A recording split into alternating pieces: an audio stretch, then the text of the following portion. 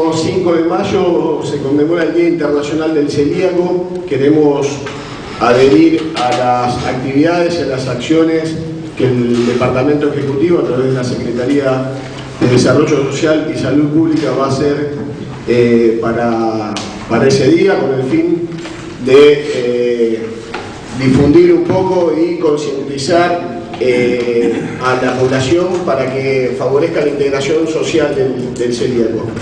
Es bueno decirlo hoy para que estas acciones que se van a ir realizando en esta, para esta fecha, como la difusión a través de los medios de prensa, eh, volantes y, vía pública, eh, charlas en las, en las escuelas y en los colegios, eh, y propiamente ese día actividades que se van a realizar en la Plaza Mitre a, a tal fin.